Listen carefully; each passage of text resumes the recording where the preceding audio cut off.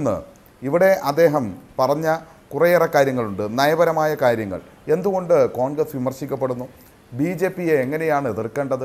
B J P എതിർക്കുമ്പോൾ നിങ്ങളുടെ നയമെന്ത്? ബി ജെ പി രാജ്യത്തെ കടന്നു വന്ന ആശയങ്ങൾ എന്തൊക്കെയാണ്? അത് രാമക്ഷേത്ര നിർമ്മാണം ബാബറി മസ്ജിദിന്റെ തകർച്ച അതിന്റെ ഭാഗമായിട്ടുള്ള രഥയാത്ര ഇത്തരം കാര്യങ്ങൾ. ഇതിലെല്ലാം കോൺഗ്രസ് സ്വീകരിച്ച നിലപാടെന്താ? രാമക്ഷേത്ര നിർമ്മാണം നടക്കുമ്പോൾ അതിൽ തങ്ങളെ ക്ഷണിച്ചില്ല എന്ന് പരിഭവിക്കുന്ന കരയുന്ന പ്രിയങ്ക ഗാന്ധിയെ നമ്മൾ കണ്ടില്ലേ? മധ്യപ്രദേശിലെ മുഖ്യമന്ത്രി പന്ത്രണ്ട് വെള്ളി ഇഷ്ടികയുമായിട്ടാണല്ലോ അങ്ങോട്ട് പോയത്. തിരിച്ചു വന്നപ്പോൾ എം എൽ എമാർ ബി ജെ പിയിലേക്ക് പോയി. അധികാരവും നഷ്ടപ്പെട്ടു. നമ്മൾ കണ്ട കാഴ്ചയാണ്. ഗോവധ വിഷയത്തിൽ എന്താണ് ബി ജെ പിയുടെ നയത്തിനോട് കോൺഗ്രസിന്റെ അഭിപ്രായം എന്ത്? നിങ്ങൾ പറയുന്നുണ്ടോ? കാശ്മീരിന്റെ വിഷയത്തിൽ അഭിൻ വർക്കിയെങ്കിലും ഒരു നിലപാട് ഈ ചർച്ചയിൽ പറയും. കാശ്മീരിന്റെ പ്രത്യേക പദവിയാണോ നിലനിർത്തേണ്ടത്? അല്ല സംസ്ഥാന പദവിയാണോ? ഇതുവരെ നിങ്ങൾ പറഞ്ഞിട്ടില്ലല്ലോ. ഭരണഘടനാപരമായ പ്രത്യേക പദവി കാശ്മീരിന് വേണമോ വേണ്ടയോ എന്ന് അഭിപ്രായം പറയാൻ വേണ്ടി പറ്റുമോ? ഏക സിവിൽ കോഡിന്റെ പ്രശ്നം വരുന്ന സമയത്ത് അത് മറ്റ് വിഭാഗക്കാരെ ബാധിക്കുമെന്നതുകൊണ്ട് അത് അടിയന്തരമായി നടപ്പിലാക്കാതിരിക്കാൻ പാർലമെന്റിൽ ഇടപെടുന്നത് കോൺഗ്രസിന്റെ എം പിമാരാണോ സി പി എമ്മിന്റെ എം പിമാരല്ലേ ഇടപെട്ടത്? ഇതെല്ലാം നമ്മുടെ മുന്നിലുള്ള അനുഭവമാണ്. ചരിത്രത്തിന്റെ അപനിർമ്മാണം സ്വാതന്ത്ര്യ സമര ചരിത്രത്തെ ഉൾപ്പെടെ അപനിർമ്മിക്കാൻ വേണ്ടി കോൺഗ്രസ് ബി ശ്രമിക്കുമ്പോൾ എന്താ കോൺഗ്രസിന്റെ നിലപാട്? അതിനെ കുറിച്ച് എന്തെങ്കിലും ഒരു വർത്തമാനം രാഹുൽ ഗാന്ധിയോ മറ്റാരെങ്കിലും പറയുന്നത് നമ്മൾ കേട്ടിട്ടുണ്ടോ? നിങ്ങളിവിടെ നിങ്ങളെ വിമർശിച്ചാൽ നിങ്ങൾക്ക് വലിയ വിഷമാവും. അതുകൊണ്ടാണ് ഞാൻ പറയാത്തത്. നിങ്ങൾ സവർക്കറിന്റെ ചിത്രം വെച്ചു എന്നത് മാത്രമല്ല പ്രശ്നം. സവർക്കറിനെ മറക്കാനുള്ളൊരു മറയായി ഗാന്ധിയെ കൊണ്ടുവച്ചു എന്നുള്ളതല്ലേ പ്രശ്നം. നിങ്ങൾ പറയുന്നു നിങ്ങൾക്ക് നിങ്ങളുടെ അണികൾക്ക് സ്വാതന്ത്ര്യ സമര പോരാളികളിൽ ഇരുപത് പേരെ സെലക്ട് ചെയ്യുമ്പോൾ അത് ഗൂഗിൾ സെർച്ച് ചെയ്യേണ്ട അവസ്ഥ വന്നു എന്ന് പറഞ്ഞാൽ നിങ്ങളുടെ ഗതികേടല്ലേ? അങ്ങനെ ഗതികേട് വന്നിട്ട് മറ്റുള്ളവരുടെ തലയിൽ കയറിയിട്ട് കാര്യമുണ്ടോ എന്ന് സ്വയം ആലോചിച്ചാൽ മതി. എന്നിട്ട് അതിനെ മറക്കാൻ സ്വാതന്ത്ര്യ സമര പോരാളികളിൽ മറക്കാനുള്ള ആളായി നിങ്ങൾ ഗാന്ധിജിയെ ഉൾപ്പെടുത്തുന്നു എന്ന് പറഞ്ഞാൽ വിമർശനം കേൾക്കേണ്ടി വരില്ലേ? ആ വിമർശനം കേൾക്കുമ്പോൾ നിങ്ങളാണ് സ്വയം പരിശോധിക്കേണ്ടതെന്നാണ് അതുമായി ബന്ധപ്പെട്ട് പറയാനുള്ളത്. നിങ്ങൾ ഈ രാജ്യത്ത് ബി ജെ പി ഇപ്പോൾ നടപ്പിലാക്കിക്കൊണ്ടിരിക്കുന്ന സാമ്പത്തിക നയത്തെക്കുറിച്ച് എന്താ നിങ്ങളുടെ അഭിപ്രായം? അത് പറയേണ്ടതില്ല. ഈ ജാഥ മഹത്തരമായ ജാഥ എന്ന് പറയുന്ന ജാഥയിൽ അത് പറയുന്നുണ്ടോ?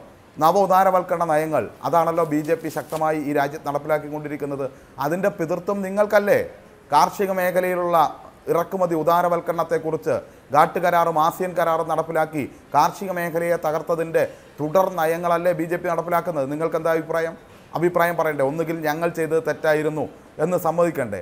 വ്യാവസായിക മേഖലയിൽ മറ്റ് പല മേഖലയിൽ ഞാനിതിന്റെ വിശദാംശങ്ങളിലേക്കൊന്നും പോകുന്നില്ല. താങ്കൾ ഏറെ ഏറെ കാര്യങ്ങൾ പറഞ്ഞിട്ടുണ്ട്. അപ്പോൾ ആ മേഖലയിലെല്ലാം നമ്മൾ കാണേണ്ട തൊഴിൽ നിയമങ്ങൾ ഇല്ലാതാക്കുന്ന നയങ്ങളുടെ ആരംഭം നിങ്ങളിലല്ലേ പെട്രോളിന്റെ വില നിയന്ത്രിക്കാനുള്ള കോർപ്പറേറ്റുകൾക്ക് അവകാശം കൊടുത്തത് നിങ്ങളല്ലേ? നിങ്ങൾ ഡീസലിന്റെ കൊടുത്തില്ല എന്തുകൊണ്ടാണ് ഡീസൽ വന്നാൽ വലിയ സമരം നേരിടാനുള്ള ശേഷി നിങ്ങൾക്ക് അന്നില്ലായിരുന്നു. പക്ഷേ അതിന്റെ ഇപ്പോൾ ബി ജെ പി കൊടുത്തിരിക്കുന്നു. സ്വകാര്യവൽക്കരണം തൊഴിലില്ലായ്മ ഇതെല്ലാം നിങ്ങൾ പറയുന്നു. സ്വകാര്യവൽക്കരണത്തിന്റെ ആരംഭം ഇവിടെ വെച്ചിട്ടാണ്?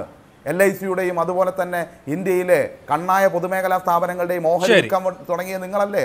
അവരിപ്പോൾ ലേലം വിളിച്ച് എയർപോർട്ടും സീപോർട്ടും ഒറ്റ മിനിറ്റ് അഭിലാഷ് ഒറ്റ മിനിറ്റ് ഒറ്റ മിനിറ്റ്. എയർപോർട്ടും സീപോർട്ടും സകലതും വെക്കുന്നു ഈ നയങ്ങൾക്കെതിരായിട്ടുള്ള നിങ്ങളുടെ അഭിപ്രായം എന്ത് കേൾക്കാൻ ആഗ്രഹിക്കുന്നു. അങ്ങനെ പറയുമ്പോൾ നിങ്ങൾ മറ്റുള്ളവരെ കുറ്റം പറയുകയാണ്. സി പി എമ്മിനെ സി പി എമ്മിന്റെ ഈ രാജ്യത്തുള്ള എന്താണ് സംസ്ഥാനങ്ങളിലുള്ള എം എൽ എമാരുടെയും എം പിമാരുടെയും എണ്ണം ചോദിച്ചിട്ടാണ് പറയുന്നത്. പക്ഷേ അന്തസ്സോടെ ഒരു കാര്യം പറയും. ഞങ്ങളൊരു ബദൽ കാണിച്ചു തരും.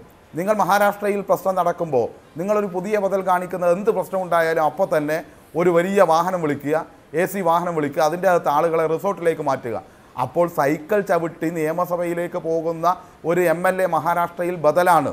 നിങ്ങൾ രാജ്യസഭയിൽ ഇതേ രാജസ്ഥാനിൽ കോൺഗ്രസിൽ നിന്ന് ബി ജെ പിയിലേക്ക് മാറി ആളെ തോൽപ്പിക്കാൻ വേണ്ടി ശ്രമിച്ചപ്പോൾ ഉള്ള രണ്ടു പേർ സി പി എമ്മിന്റെ എം എൽ എമാർ ആ രണ്ടു പേർ വോട്ട് ചെയ്ത് നിങ്ങളെ ജയിപ്പിക്കും എന്ന് പറയുന്ന ബദല ത്രിപുരയെക്കുറിച്ച് പറഞ്ഞു. ത്രിപുരയിൽ നിങ്ങൾ മനസ്സിലാക്കേണ്ട കാര്യം എന്താ? ത്രിപുരയിലെ ഞങ്ങളുടെ മുഖ്യമന്ത്രിയുടെ പേര് മണിക് സാഹ മണി സർക്കാർ. ഇന്ന് ത്രിപുരയിലെ മുഖ്യമന്ത്രിയുടെ പേര് മണിസ്വാഹ ആരാ മണിസ്വാഹ മണിസ്വാഹ മണി സ്വാഹ എന്ന് പറയുന്നത് നിങ്ങളുടെ പ്രതിപക്ഷ നിരയിലെ പ്രമുഖ നേതാവല്ലേ കോൺഗ്രസിന്റെ?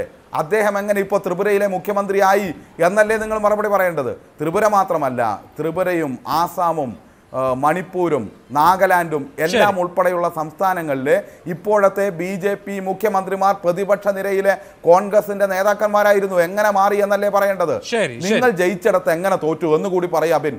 കർണാടകയിൽ അല്ല അഭിലാഷ് ഒറ്റ വാചകം. ഞാൻ അദ്ദേഹം നേരത്തെ ഒരുപാട് ആരോപണത്തിന് അതേ രീതിയിൽ ഞാൻ മറുപടി പറഞ്ഞിട്ടില്ല. പക്ഷേ ചില കാര്യങ്ങൾ പറഞ്ഞു പോകണം. അദ്ദേഹം മറുപടി പറഞ്ഞോട്ടെ? സമയം അദ്ദേഹത്തിന് കൊടുത്തോളൂ. എനിക്ക് തർക്കമില്ല. ഒറ്റ കാര്യം കൂടി എനിക്ക് പറയണം. നിങ്ങൾ ജയിച്ചിടത്തെല്ലാം നിങ്ങളെ തോൽപ്പിച്ചത് നിങ്ങളല്ലേ? കർണാടകത്തിൽ നിങ്ങൾ ജയിച്ചു. അധികാരത്തിൽ കോൺഗ്രസിനെ ബി ജെ പി എത്തിച്ചു. മധ്യപ്രദേശിൽ നിങ്ങളെ ജനങ്ങൾ ജയിപ്പിച്ചു. അധികാരത്തിൽ ബി ജെ പി എത്തിച്ചു. ഗോവയിൽ അങ്ങനെ അങ്ങനെ അരുണാചലിൽ അങ്ങനെ അങ്ങനെ പല പല സംസ്ഥാനങ്ങളിലും എവിടെയെങ്കിലും അത്ഭുതത്തിൽ പോലും നമുക്ക് പറയാൻ വേണ്ടി പറ്റില്ലല്ലോ. അരുണാചൽ പ്രദേശിൽ നാൽപ്പത്തിനാല് എം എൽ എമാരുള്ളതിൽ നാൽപ്പത്തിമൂന്ന് എം എൽ എമാരെയും കൂട്ടി മുഖ്യമന്ത്രിയും മന്ത്രിമാരും ബി ജെ പി പോയില്ലേ? പ്രോസസ്സിനെടുത്തത് വെറും നാല് മാസമാണ്. നാല് മാസം കൊണ്ട് ജൂലൈയിൽ അധികാരത്തിൽ വന്ന് ഡിസംബർ ആകുമ്പോഴേക്ക് പൂർണമായി മുഖ്യമന്ത്രി ഉൾപ്പെടെ മുഴുവൻ ആളുകളും ബി ജെ പിയിലേക്ക് പോയി. അതിനെ നിയന്ത്രിക്കാൻ കഴിയാത്ത ഒരു നേതൃത്വം നിൽക്കുമ്പോൾ ഇപ്പോൾ നമുക്കറിയാം ഇതുകൂടി കണ്ട് അസോസിയേഷൻ ഓഫ് ഡെമോക്രാറ്റിക് റിഫോംസിന്റെ കണക്ക് പ്രകാരം മുപ്പത്തഞ്ച് ശതമാനം കോൺഗ്രസിന്റെ എം എൽ എയും എം പിമാരുമാണ് ബി ജെ പിയിലേക്കും മറ്റു പുറത്തേക്കും പോയത് എന്ന് കാണേണ്ടതില്ലേ? നിങ്ങൾ മത്സരിപ്പിച്ച കാൻഡിഡേറ്റുകൾ ഇരുപത്തിരണ്ട് ശതമാനമാണ് രണ്ടായിരത്തി പതിനാല് മുതൽ രണ്ടായിരത്തി ഇരുപത്തി ഒന്ന് വരെ മറ്റു പാർട്ടി ബി ജെ പിയിലേക്ക് പോയത് എന്നതിന്റെ കണക്ക് രാജ്യത്തുണ്ട്. അപ്പോൾ ഇത് പറയുമ്പോൾ മറ്റുള്ളവരെ കുറ്റപ്പെടുത്തിയിട്ട് കാര്യമില്ല.